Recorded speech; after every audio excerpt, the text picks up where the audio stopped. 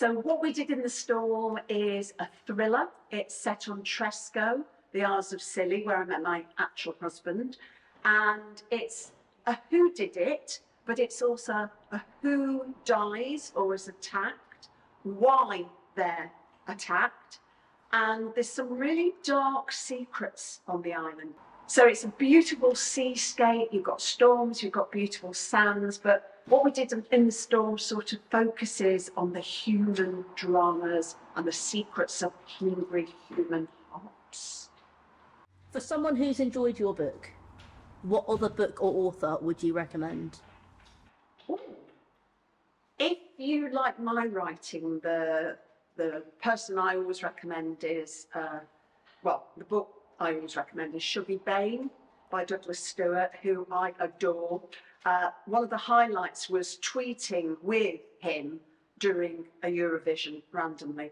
I just love him. Uh, so it's like the vernacular, it's working class heroes, but I'm not comparing my writing to his. I'm just saying he's one of my favourite authors. But he also does the humour and break your heart.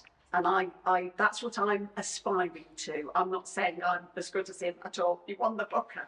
But that's the one I say, just reading. What was your last five star read? Oh, my last five star read was Prophet Song, uh, the Booker Prize winner. Paul Murray, I believe. I might have got that wrong. Um, and uh, literally just after I read that, The Bee Sting, I think that's Paul Murray. Um, so they were both on the shortlist, but uh, The Prophet Song won it. Loads of humour in The Bee Sting. It, it, in the best possible sense, it's like a soap. Both Irish writers.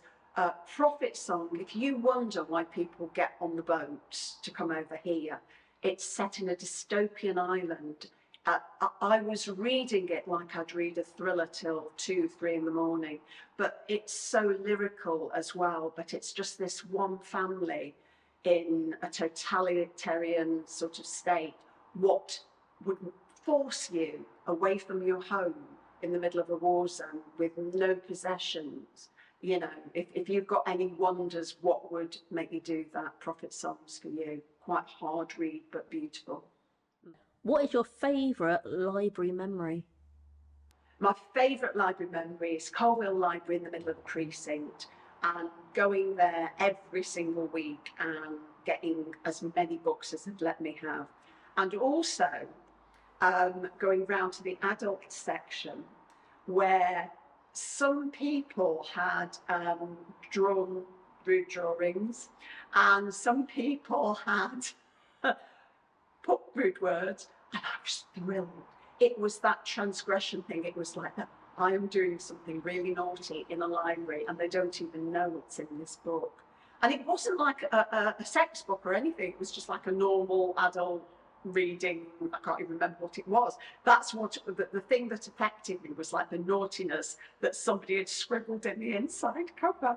Uh, but I loved all the books that I got there. It was just fabulous. And, you know, by today's standards, it was a pretty basic library, but they always made me feel welcome. Uh, we didn't have a bookshop where I grew up, a place called Coalville in Leicester. There wasn't one. So the library was, you know, my doorway, my portal into bigger, better worlds.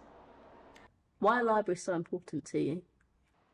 So growing up, uh, my mum had difficulties reading and writing because she came from a traveller background, didn't, you know, learn very much schooling. My dad was past his 11 plus, could have gone on to school, had to leave school because, you know, his mum was a widow, they needed the, the wages. Both of them encouraged me to write.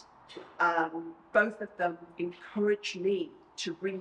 They didn't get a lot of time. My dad worked two jobs, my mum worked they didn't have a lot of reading time, so they encouraged the reading. And we couldn't afford books, so where are we going to go? You're going to get them from the library. And it was my escape. Uh, there were some horrible things that happened as a kid, and I needed that sort of outlet to escape to brighter worlds. And there were some lovely things that happened uh, as a kid, but I just got the habit really, really young. And it's like, why live just your one life when you can go into a li- library and live a billion different lives in a different country and a different age and in a different body? It's just all of it. I, I love libraries, and when I say that, I'm like passionately love libraries. Libraries save my life.